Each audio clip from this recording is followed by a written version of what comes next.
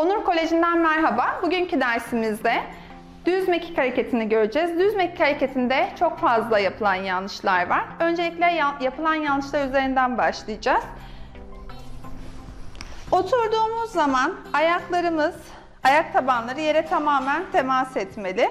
Ayaklarımız, bacaklarımızı çok fazla kendimize çekmemeliyiz. Çok fazla ileri itmemeliyiz. Orta noktada kalmalı. Daha sonra yere yatış hareketinde bacaklarımızın aralığı omuz genişliğinde değil kalça genişliğinde olmalı. Çünkü atıyorum omuz egzersizi yapan bir kişinin omuzları daha geniş olacaktır. Bu da eğer biz bacağımızı açarsak daha fazla hareketi yanlış yapmamıza neden olacaktır. Bu yüzden sadece kalça genişliğinde bacaklarımın arası açık olmalı. Daha sonra ilk başlayanlar için de şu şekilde bir mini bol alarak sırtımıza destek olarak kullanabiliriz. Bunu sırtımızın çok fazla orta noktasına koyarsak karın hareketini hissedemeyiz. Çünkü bizim amacımız e, karın kaslarını çalıştırarak mekik hareketini doğru yapmak. O yüzden sırtımın tam iki kürek kemiğinin arasına mini bolumu yerleştiriyorum. Şu şekilde hissedeceksiniz zaten. Ben de ayarlıyorum. Evet.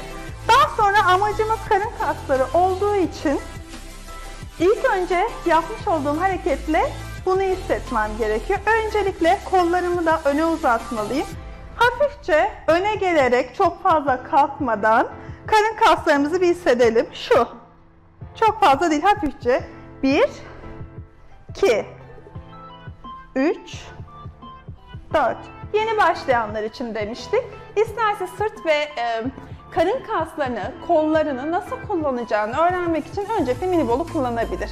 Mini bolu öğren mini bolla e, karın kaslarımızı nasıl kullanacağımızı öğrendikten sonra bunu devreden çıkartabiliriz.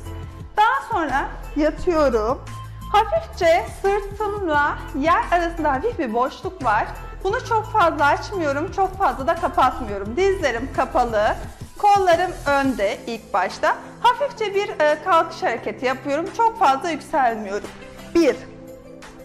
Bu hareketle devam etmemiz gerekiyor. Eğer bu şekilde yaparsak karın kaslarını hissederiz. Eğer şunu yaparsak sırt çalışmış oluruz. Bu da hareket bambaşka bir yere gel- gelir ve amacımızdan şaşmış oluruz. Doğrusunu gösteriyorum tekrardan. Uzattım kolumu. 1 2 3 Sadece hissettiğim karın kaslarım oluyor. Daha sonra ellerimi şu şekilde ense veya kulak hizasına getirerek kesinlikle şunu yapmıyorum arkadaşlar. Şu şekilde başımı zorlayacak hareketler asla yapmıyorum. Sadece şu şekilde destek alıyorum. Ee, ellerimi pozisyon tutuyorum daha doğrusu. Boyundan da destek almak yok. Yapalım birlikte.